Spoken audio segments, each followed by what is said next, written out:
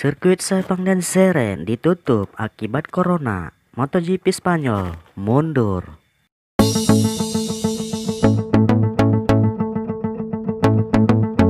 Gelaran akbar balapan MotoGP tahun ini sepertinya sedang tidak beruntung sebab event ini sedikit kacau akibat penyebaran virus corona. Seri pembuka kelas para raja MotoGP Qatar hingga dibatalkan.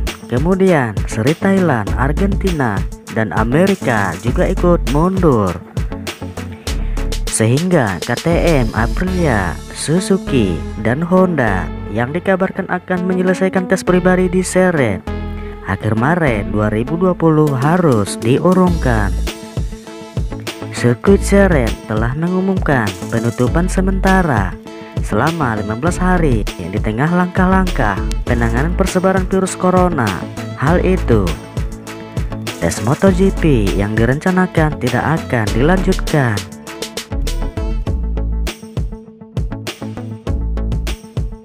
Circuito de Seret Angel Nieto menginformasikan bahwa berdasarkan rekomendasi otoritas kesehatan terkait penanganan penyebaran virus corona kami akan menghentikan semua kegiatan selama 15 hari ke depan. Batas waktu ini dapat direvisi atau ditingkatkan jika perlu.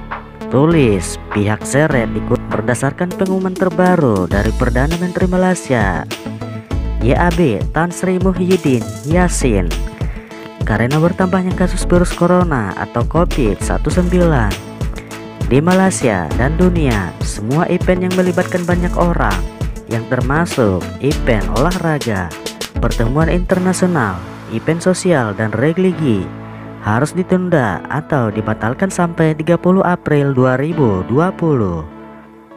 Jika melihat jadwal MotoGP terbaru, seri Spanyol akan digelar pada 3 Mei 2020. Jadwal itu tidak bertabrakan dengan penutupan Zeret yang akan berakhir pada 30 Maret 2020. Terima kasih sudah berkunjung di channel kami. Jangan lupa subscribe dan tekan notifikasinya untuk mengikuti info terbaru seputar MotoGP. Sampai jumpa.